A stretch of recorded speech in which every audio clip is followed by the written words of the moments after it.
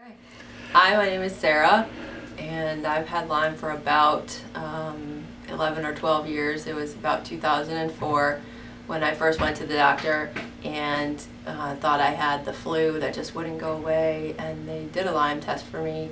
Uh, I work in the woods as an arborist, so they thought it was a high possibility that I had Lyme, uh, but the test came back negative, so they ruled that out, said get some sleep, drink more water.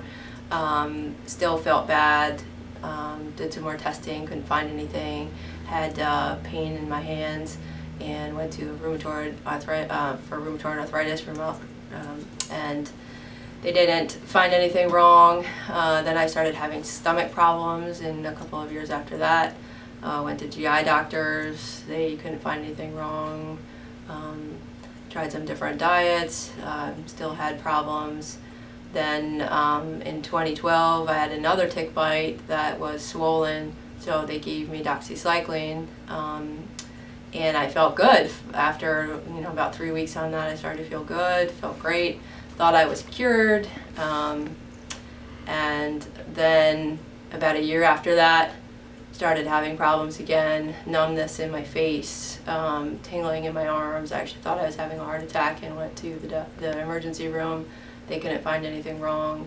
MRIs um, came back negative for problems in my brain. Still had facial numbness. It just went downhill rapidly after that. Um, I had fatigue, couldn't get out of bed. Um, I had trouble taking care of my kids and had to rely on my husband for a lot of things. I had pain and achiness. Um, quality of life was terrible. And um, I, then I started having really bad GI problems, could barely eat anything. I was on antibiotics for a year for Lyme um, through uh, a different doctor. Um, that wasn't working at all. Um, so then I came to find Dr. Wine and uh, here I am today feeling mm. much better. what um, you were you were, I remember vividly when you came in, I mean, you were just, you, you had no life. Especially you were very upset because you really couldn't spend any time with your kids. Um, uh, how much better are you now? I mean, it's 12 weeks. You're a little bit past now because uh, we're about 14 weeks or so and after uh, you started. How much better are you?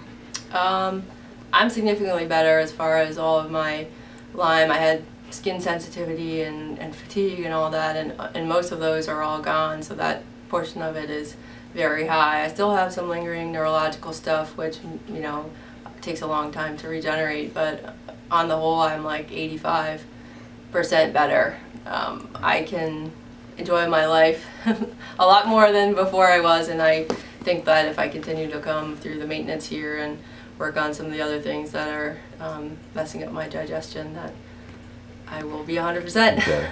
Perfect. Um, you and I talked about this earlier, but how is it, uh, how, how happy are your kids? Oh, my kids, they they love it. Um, you know, I'm able to spend more time with them and go for walks and read books and things without uh, being grumpy and falling asleep in the middle of it and things like that. So um, kids definitely see a happier mom and uh, my husband's also happy that I'm getting better.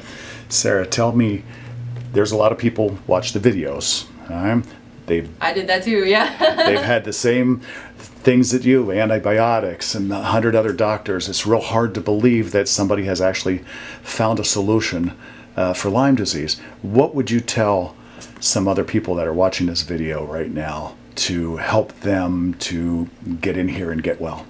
I would say take the step to do it. Um, there's only positive things that are happening here to your body. So, you know, what's the worst that can happen? Um, it's much better for your body than taking any of the antibiotics. Um, you know, I eat better now, I take care of myself better, so there's no downsides to doing it. And if you look at all the money you spend on all these other tests and things that don't even work, you know, this, while it seems maybe a little bit expensive up front when you have to come in to do it, and that mm-hmm. was a drawback for me. But I find that it's worth it. Um, you know, just the care provided and all the benefits that come from it is only only healthy. So I would say go for it.